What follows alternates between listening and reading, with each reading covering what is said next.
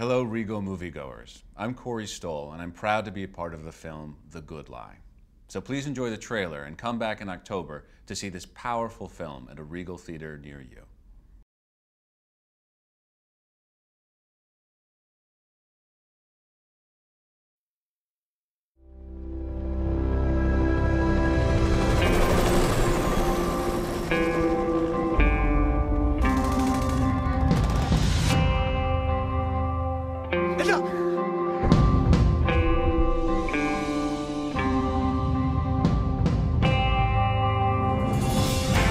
This is called ice. This is what winter in America feels like.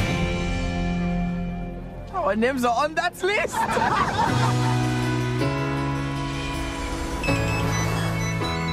Yes, hello, this is Carrie. Pick up who? I'm just supposed to help them find jobs. You must be the guys from uh, Somalia, Senegal. Sudan. Did your luggage come down the chute? Great. Where is your husband? No, I'm not married. I provide for myself. Your survival skills are very impressive. Thanks. I'll call you tomorrow morning and we'll start the job hunt. I need your help. Are there any dangerous animals in this area? Such as? Lions.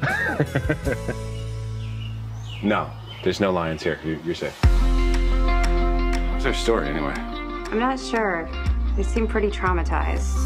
Made my way to the borderline.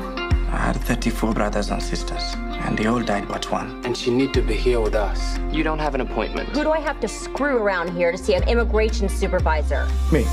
Thanks, Cupcake.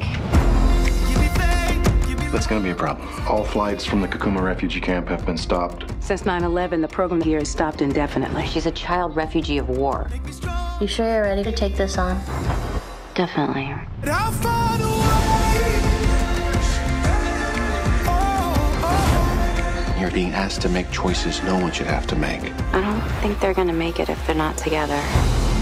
I will pray for you, Yardi. Yardi? It is a special name for you. It means great white cow. Well, it's better than a lot of things I've been called.